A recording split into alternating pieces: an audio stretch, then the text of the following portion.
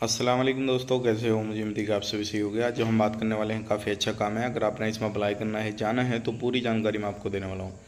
कैसे आपने इसमें अप्लाई करना रहेगा क्या क्या प्रोसेस रहेगा और कौन कौन से लोग जा सकते हैं तो आप शुरू से लेकर आखिर तक वीडियो देखते रहें, क्योंकि आपको पूरी जानकारी हो जाए। और आप समझ सकें किस तरीके से आपने इसमें अप्लाई करना रहेगा, क्योंकि बहुत सारा जो है, बहुत सारे लोगों के इससे रिलेटेड कमेंट आ रहे थे। कि भाई इस तरह का कोई काम हो तो बताइएगा ताकि हम उसमें अप्लाई कर सकें। और फाइनली वो काम आपके लिए आ चुका है। चैनल को आप पहली बार देख रहे हैं सब्सक्राइब करें जितना हो सके वीडियो को शेयर कर दें। कमेंट बॉक्स में अपनी राय बताएँ ताकि जो है आने वाले वक्त में आपको कैसा काम चाहिए, वो भी आपको माल, जो है, हमें मालूम पड़ जाए।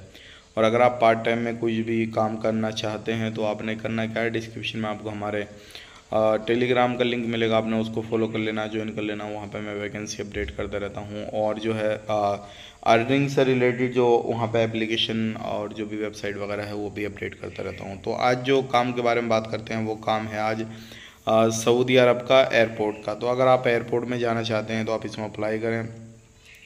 इसमें जो है, अगर आपका मेडिकल हो रखा है तो अच्छी बात है डायरेक्टली आपका जो है काम शुरू हो जाएगा।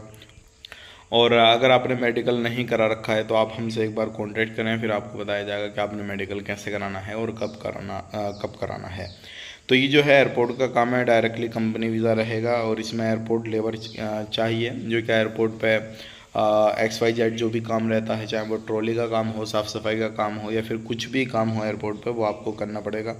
इस चीज़ का ध्यान रखिएगा, इसमें loading unloading aircraft cleaner वगैरह सारा कुछ जो काम रहेगा और इसमें जो है स्ट्रॉन्ग हेल्थी बंदा चाहिए, इस चीज़ का भी ध्यान रखें क्लीन शेप वगैरह चाहिए। यानी कि आपकी अगर दाढ़ी है तो आप इसमें अप्लाई नहीं कर पाएँगे क्योंकि ये शर्त रखी गई है कंपनी की तरफ़ से, इस चीज़ का ध्यान रखें। क्लीन शेप होना चाहिए और इसमें एज जो है वो आपकी बाईस से लेकर पैंतीस साल के बीच में होनी चाहिए, ये भी इस चीज़ का भी ध्यान रखिएगा। बात कर लेते हैं कॉन्ट्रैक्ट की, दो साल का आपका कॉन्ट्रैक्ट रहेगा अकोमोडेशन ट्रांसपोर्टेशन मेडिकल इंश्योरेंस वगैरह सारी फैसिलिटी जो है वो आपको कंपनी प्रोवाइड कर रही है और इसमें जो है आपका दो साल का कॉन्ट्रैक्ट है, बारह घंटा ड्यूटी है, प्लस आपको ड्यूटी टाइम फ़ूड मिलने वाला है। एड टिकट वगैरह सारा कुछ कंपनी आपको आफ्टर टू इयर्स के बाद में जब आप काम कंप्लीट करेंगे तो उसके बाद में आपको मिलने वाला है। मेडिकल है काम इंश्योरेंस वगैरह सब कुछ कंपनी आपको प्रोवाइड कर रही है। तो अगर आप एयरपोर्ट के काम में जाना चाह रहे हैं और इसमें अगर सैलरी की बात करें तो सैलरी रहेगी आपकी हज़ार रियाल, दो सौ रियाल खाने का है तो बारह सौ रियाल आपकी सैलरी है। और इसमें अगर दो सौ नहीं मिलेगा तो ड्यूटी टाइम आपको फ़ूड मिल जाएगा, लेकिन बेसिक जो सैलरी है, वो आपकी हज़ार रियाल है तो आप इसमें अप्लाई कर सकते हैं। काफ़ी अच्छा काम है एयरपोर्ट के लिए। बहुत सारे लोग अप्लाई करने की सोच रहे थे, बहुत सारे मालूम कर रहे थे, भाई, कोई एयरपोर्ट का काम इस तरीके से आए तो हमें बताइएगा ताकि हम इसमें अप्लाई कर सकें। तो काफ़ी अच्छा काम है, आप ज़रूर इसमें अप्लाई करें बाकी अधिक इन्फॉर्मेशन के लिए आप हमारे व्हाट्सएप पर जुड़ें।